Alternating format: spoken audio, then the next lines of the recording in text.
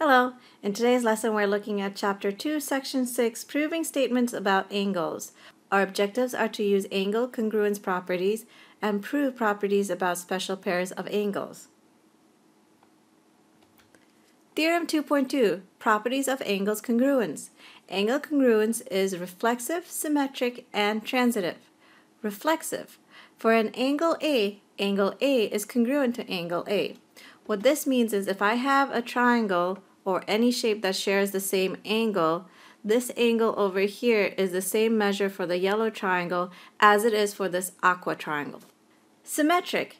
If angle A is congruent to angle B, then we can switch places and just say angle B is congruent to angle A.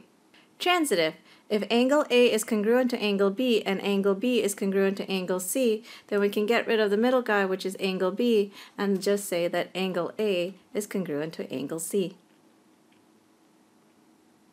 Example 1 using the transitive property. In the diagram at the right, angle 1 is congruent to angle 5. So the way we show angle congruence is by the number of arcs, or like could say rainbows. So angle 1 and angle 5 are congruent. And angle 5 is congruent to angle 3. Since angle 5 has one arc, I'm just going to draw one arc around angle 3. And the measure of angle 1 is 103 degrees. So I'm going to write that down. What is the measure of angle 3? Explain your reasoning. Because angle 1 is congruent to angle 5 and angle 5 is congruent to angle 3, we can get rid of the middle guy by using the transitive property to conclude that angle 1 is congruent to angle 3.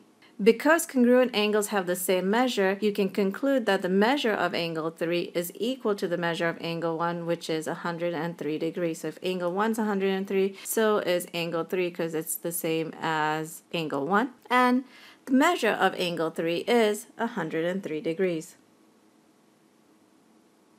Checkpoint problem number one. Use the diagram from example one, given that angle 4 is congruent to angle 6. So these two angles are congruent, and angle 6 is congruent to angle 8, and the measure of angle 8 is 77 degrees. What is the measure of angle 4? Explain your reasoning. Theorem 2.3, right angle congruence theorem all right angles are congruent. This is because all right angles have the same measure, which is 90 degrees.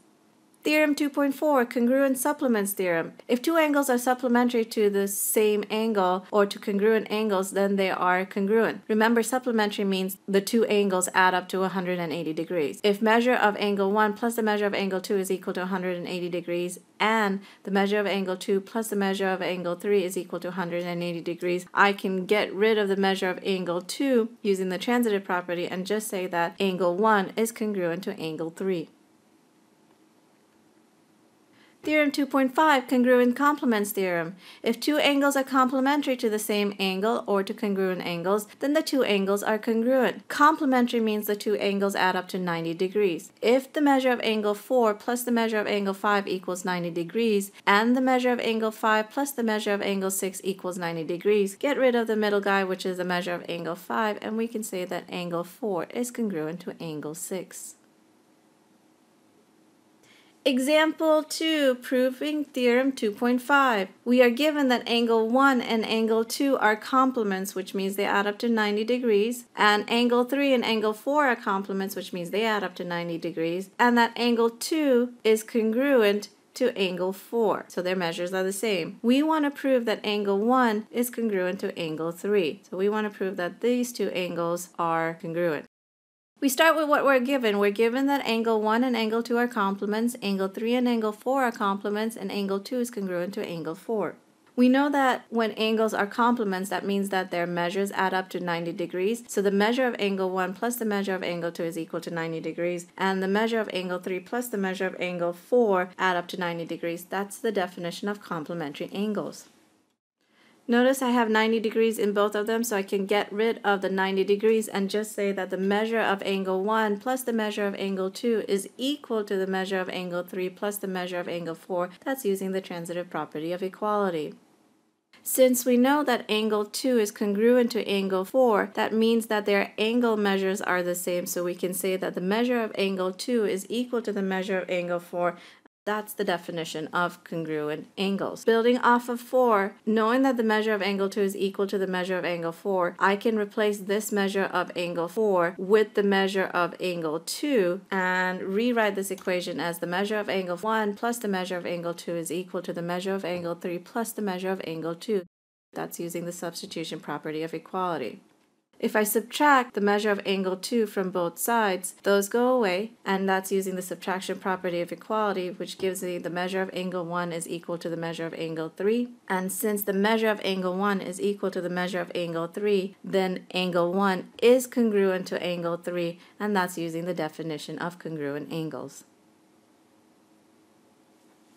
Postulate 12, linear pair postulate. If two angles form a linear pair, then they are supplementary. The measure of angle 1 plus the measure of angle 2 is equal to 180 degrees.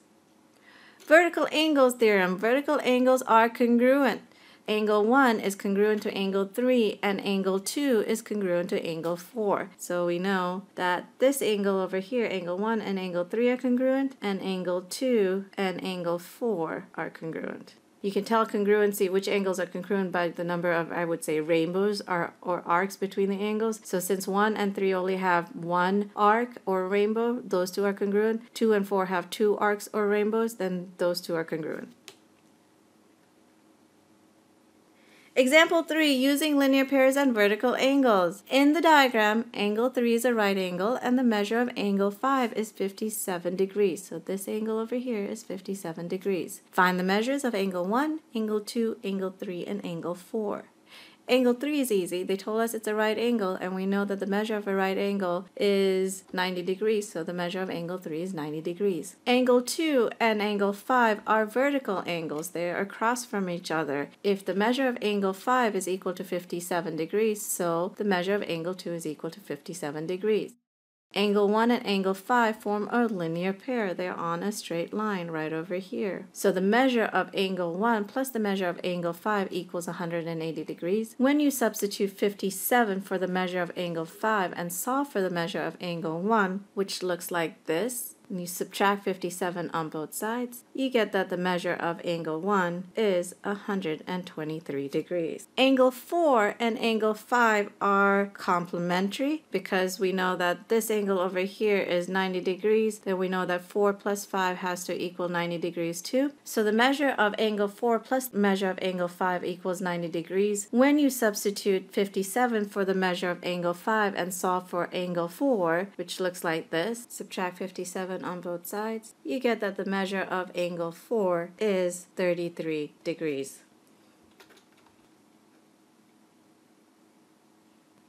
All right, checkpoint problems number two and three are yours. Checkpoint problem number two, find the measure of angle one and the measure of angle two. Let me give you a hint. This line over here is a straight line, and we know in straight lines the angles add up to 180 degrees, and they're a linear pair, so Use that to find the measure of angle 1 and maybe the measure of angle 2.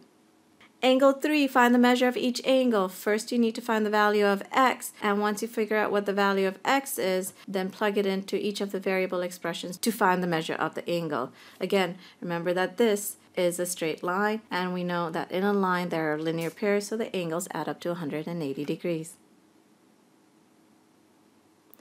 Alright, that's it from me. I'll see you all soon.